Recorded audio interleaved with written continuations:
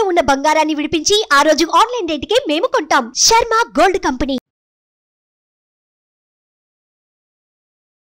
నమస్తే welcome to Suman TV. నేను మీ యామ్ని. ప్రస్తుతం మనతో ఉన్నారు ప్రముఖ ఆధ్యాత్మికవేత్త ప్రముఖ జ్యోతిష్య వాస్తు పండితులు మనతో సూర్యనారాయణ శర్మ గారు ఉన్నారు వారితో మాట్లాడదాం. నమస్కారం గురుగారు. నమస్కారం అమ్మ. శుభం బియాదు గురుగారు ఈ రెండు వేల ఇరవై నాలుగో సంవత్సరంలో అసలు మకర రాశి వారికి అంటే ఏ విధంగా ఉంటుంది? మకర రాశి వారి దగ్గరికి వచ్చినప్పుడు మకరం అంటే మీకు తెలిసిందే అందులోని ఉన్న నక్షత్రాలు సంగతి ఎలాగున్నా ఒక పట్టులాగా ఉంటారు వాళ్ళు. అంటే నష్టమైన కష్టమైన పట్టిన పట్టు వదలరు. ఒకసారి ఒక నిర్ణయం తీసుకున్నారంటే అందులో కూర్చోవాలను అనుకుంటారు. అందరూ చెప్తుంటారు ఏమో నష్టం ఉందని.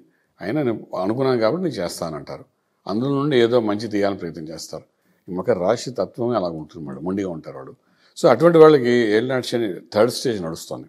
నెత్తి మీద పక్కకు శనీశ్వరుడు వెళ్ళాడు కుటుంబ స్థానంలో ఉన్నాడు. కుటుంబ పరంగా కొన్ని ఇబ్బందులు వాక్ పరంగా కొన్ని ఇబ్బందులు అలాగే ధనపరంగా కొన్ని ఇబ్బందులు ఫిఫ్టీ ఫిఫ్టీగా.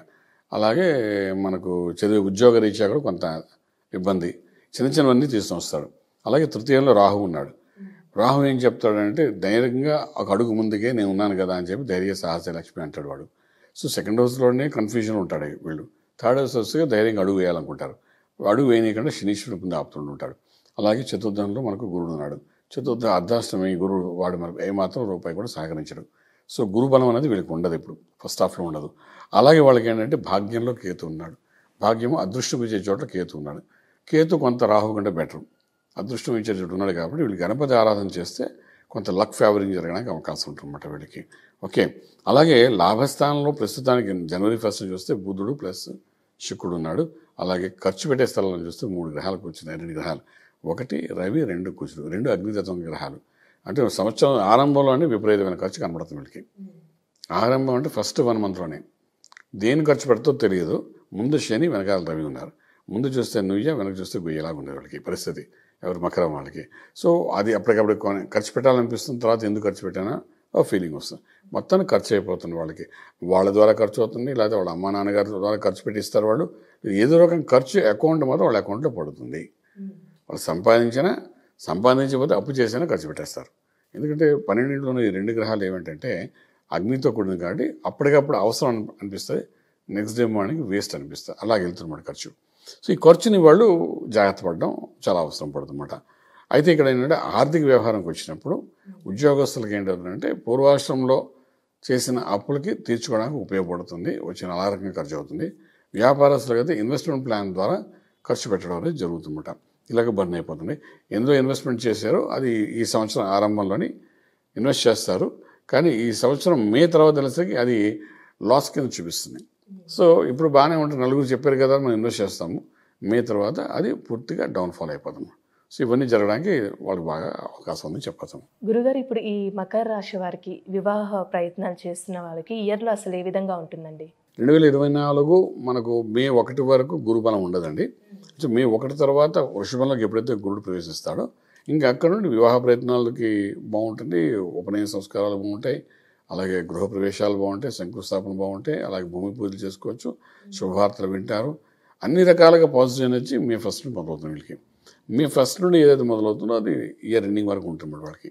సో భయపడక సో ఏదో ఫస్ట్ హాఫ్లో వివాహ వ్యవస్థ కోసం చేసే ప్రయత్నాలు కొంచెం కంట్రోల్ చేసుకోగలిగితే మీకు సెకండ్ హాఫ్ చాలా బాగుంటుంది చెప్పొచ్చు మేడం. అసలు ఆరోగ్యం పరంగా ఈ రాశి వారికి ఇయర్ మొత్తం అసలు ఏ విధంగా ఉంటుందండి? ఆరోగ్యం అనేసి ఆరో స్థానం చూస్తామండి. ఇక్కడ ఆరో స్థానం ఇంకా అధిపతి బుధుడు ఉన్నామట ఈ బుధుడు ఈ యొక్క రవితో కలిసి ఉన్నాడు. తర్వాత నెక్స్ట్ స్టెప్ వీళ్ళ కుజుడితో కలిసి వస్తాడు ముందుకి. నెక్స్ట్ శనితో కలుస్తాడు. ఇవన్నీ వరుసగా రాహుతో కలుస్తాడు. ఇలా కలుసుకుంటూ ముందు వెళ్తాడు ఫస్ట్ హాఫ్లోని ఈ ఫస్ట్ హాఫ్లో న్యూరో ప్రాబ్లం వచ్చే అవకాశం బాగా కనబడుతుందండి. నరాలకు సంబంధించి కొన్ని సమస్యలు వస్తాయి. మే ఫస్ట్ తర్వాత మాత్రం కొంత ఆరోగ్య విషయంలో న్యూట్రల్గా ఉంటుంది. బాగానే ఉంటుంది. చెప్పచ్చు గురుగారు ఇప్పుడు వ్యవసాయ రంగానికి సంబంధించిన వాళ్ళు ఉంటారు కదండి. అసలు ఈ ఇయర్ వాళ్ళకి ఏ విధంగా ఆదాయం అనేది ఉంటుందండి? అగ్రికల్చర్ చాలా బాగుంటుందండి వీళ్ళకి. అగ్రికల్చర్ వైజ్ ఏమి ఇబ్బంది ఉండదు. కల్చర్ బాగుంటుంది ప్లస్ పెస్టిసైడ్స్ వాళ్ళకి బాగుంటుంది విత్తనాలకి మంచి పంట వస్తుంది. నష్టం అనేది పంట తక్కువ తక్కువగానే ఉంటుంది వీళ్ళకి. అయితే ఏంటంటే కొన్ని కొన్ని నిర్ణయాలు సమయం చూసుకుని చేయాలి. ఆ సమయానుసారం చేసుకుంటూ ముందుకు వెళ్ళగలిగితే మాత్రం డెఫినెట్గా మంచి సక్సెస్ఫుల్ పంట పండించడానికి అవకాశం ఉంది. ఈ సంవత్సరం కాదు వచ్చే సంవత్సరం సంక్రాంతి అప్పుడు కూడా మంచి పంట వీళ్ళు పండించడానికి అవకాశం ఉంటుంది చెప్తామండి. గురుగారు ఇప్పుడు ఈ మకర రాశిలో ఉద్యోగ అంటే నిరుద్యోగులు ఉంటారు కదండి వాళ్ళకి ఈసారి ఉద్యోగ అవకాశం వచ్చే ఛాన్స్ ఉందంటారా? ఇప్పుడు ఐటీ రంగం తీసుకోండి సాఫ్ట్వేర్ తీసుకోండి బ్యాంకింగ్ సెక్టర్ అలాగే పబ్లిక్ సెక్టర్ ప్రైవేట్ సెక్టర్ అలాగే స్టేట్ గవర్నమెంట్ సెంట్రల్ గవర్నమెంట్ ఇలాంటి వాళ్ళందరికీ కూడాను మనకు ఏదో ఈ సంవత్సరం స్టార్టింగ్లో ఓ ప్రమోషన్ ఓ అగ్రిమెంట్ వస్తుంది కొంచెం హడావిడి చేయాలి అని అనుకుంటారండి.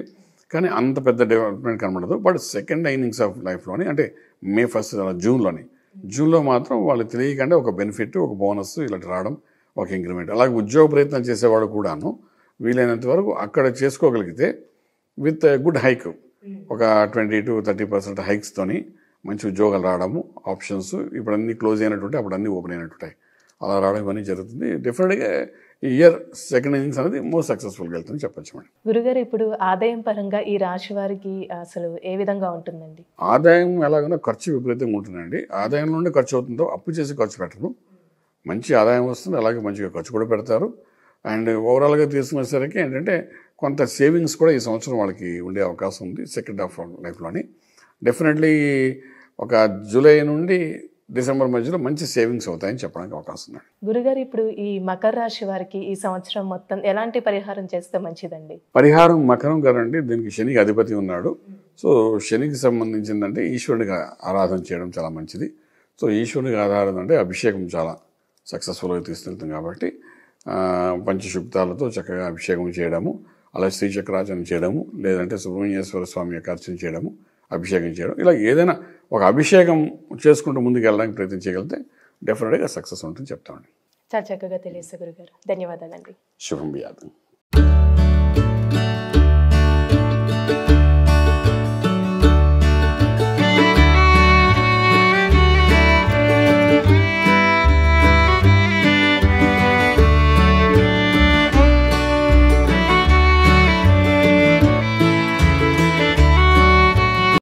టీవీలో మీ పర్సనల్ అండ్ బిజినెస్ ప్రమోషన్స్ కోసం కింది నెంబర్కి కాంటాక్ట్ చేయండి.